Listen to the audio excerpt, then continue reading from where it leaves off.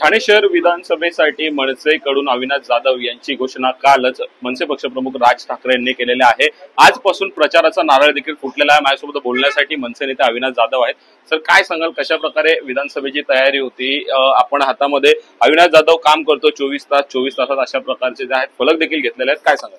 आम्ही मागच्या पाच वर्षात जे काही ठाण्यात काम केलंय आमच्या मनसेच्या पक्ष कार्यालयात कोणी आलं किंवा आम्हाला रस्त्याने जरी कोणी चालताना सांगितलं की आमचं हे हे काम आहे किंवा फोनवर जरी सांगितलं तरी आमचे महाराष्ट्र सैनिक हे काम चोवीस तासात पटकन जाऊन करतात. म्हणून ती आमची टॅगलाईन आहे की ठाणेकरांनी आम्हाला मतदान का करावं? तर आम्ही तुम्ही जर आम्हाला मतदान केलं तर आम्ही तुमचं काम चोवीस तास चोवीस तासात करू. ही खात्री देण्यासाठी आमची टॅगलाईन आहे. लोकसभेच्या वेळेस मनसेने मोठ्या प्रमाणात महायुतीला पाठिंबा दिला होता. मात्र ठाणे शहर विधानसभेतून भाजपचे उमेदवार आमदार संजय केळकर आपल्यासमोर लढत असणारे या लोकसभेनंतर विधानसभा जेवढी नाराजी ठाण्यात संजय केळकरांबद्दल आहे तेवढी इतर कुठल्याही उमेदवाराबद्दल ठाणे शहरातल्या मला दिसत नाही कारण केळकरांना फक्त लोकांचीच नाराजी नाहीये.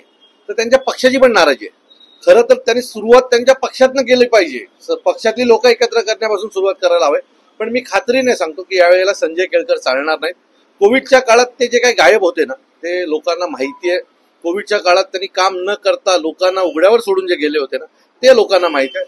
सो या वेळेला ठाणेकर त्यांच्यासोबत उभं राहणार नाही. आज तुम्ही जर घोडबंदरला गेलात तर कचऱ्याचा प्रश्न आहे पाण्याचा प्रश्न आहे. यांच्यावर केळकर कधी बोलतानाच आम्हाला दिसले नाही सो या केळकर साहेबांबद्दल मला असं वाटत नाही की या वेळेला ठाणेकर कुठलाही विश्वास ठेवतील.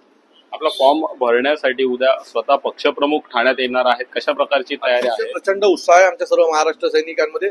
मी तुम्हाला खात्रीने सांगतो की महाराष्ट्रात अशी रॅली झाली नाही. एवढी प्रचंड मोठी रॅली ही आमचे महाराष्ट्र सैनिक काढतील.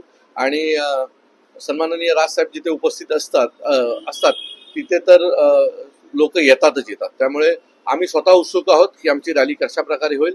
आणि सन्माननीय राजसाहेब पहिल्यांदा कोणाचा तरी फॉर्म भरायला चालले त्यामुळे विजय आमचा निश्चित आहे. किती मतांनी हा विजय असेल काय वाटतं आपल्याला? बघा एक गोष्ट खात्रीने सांगतो. आमदार तर मनसेचाच होणार त्यामुळे किती मताने येणार किंवा कसा येणार ते काळ ठरवेल. पण ह्या विधानसभेमध्ये एकशे अठ्ठेचाळीसमध्ये येणाऱ्या निवडणुकीत महाराष्ट्र नवनिर्माण सेनेचाच आमदार निवडून येईल एवढं खात्रीने तुम्हाला सांगतो.